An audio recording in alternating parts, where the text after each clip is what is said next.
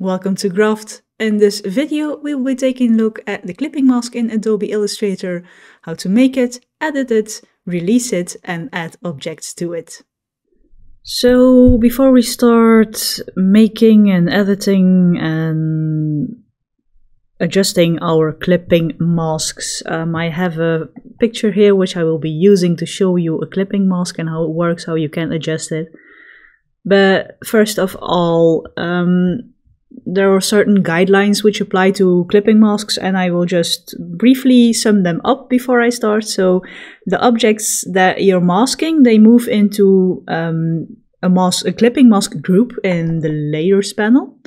Um, only a vector object can be used as a clipping mask. However, any artwork can be masked. Um, if you use a layer or a group to create a clipping mask, so in here, then the first object in that layer will be the thing that groups and masks everything in the subset of the layer group.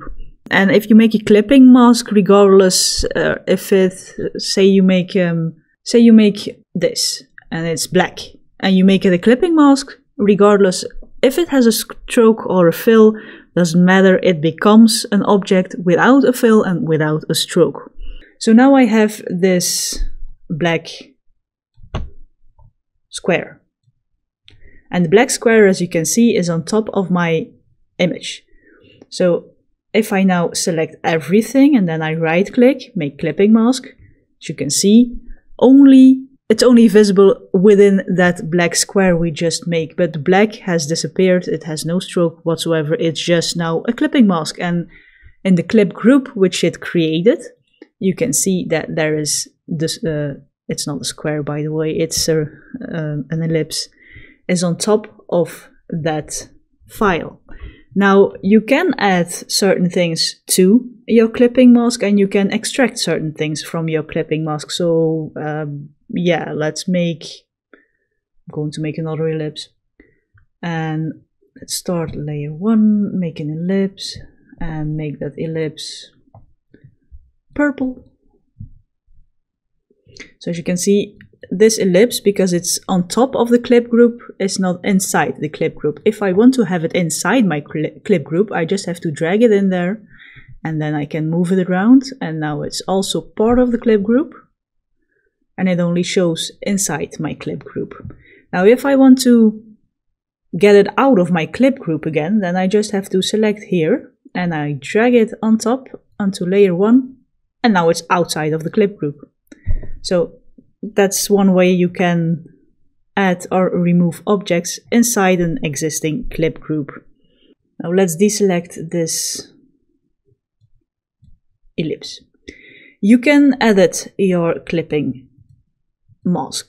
Um, you can edit it with your direct selection tool. So if I now select this and I'm dragging it around, as you can see, it adjusts my clip group. So if you made um, something as a clip group and afterwards you're like, nah, I want it to be more like this instead of just a, a regular ellipse, you don't have to undo everything you just did. You can just use your direct selection tool, select your clipping object, and then you can adjust it as you like.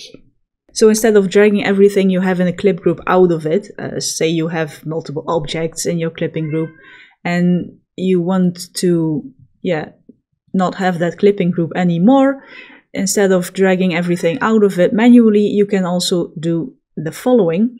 Select your clipping group in your layers, layers panel and then below you have the make release clipping mask and then it just releases everything.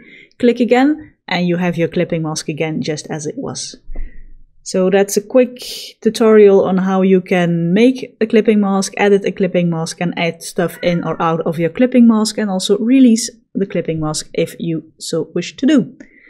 let me know in the comments below if you liked this video. Be sure to like it if you did. Uh, you, if you have any questions, you can also ask them in the comments. And maybe if you want to see more of my videos, consider pressing that subscribe button with a little bell icon. And for now, stay healthy and safe, and I hope to see you in the next one.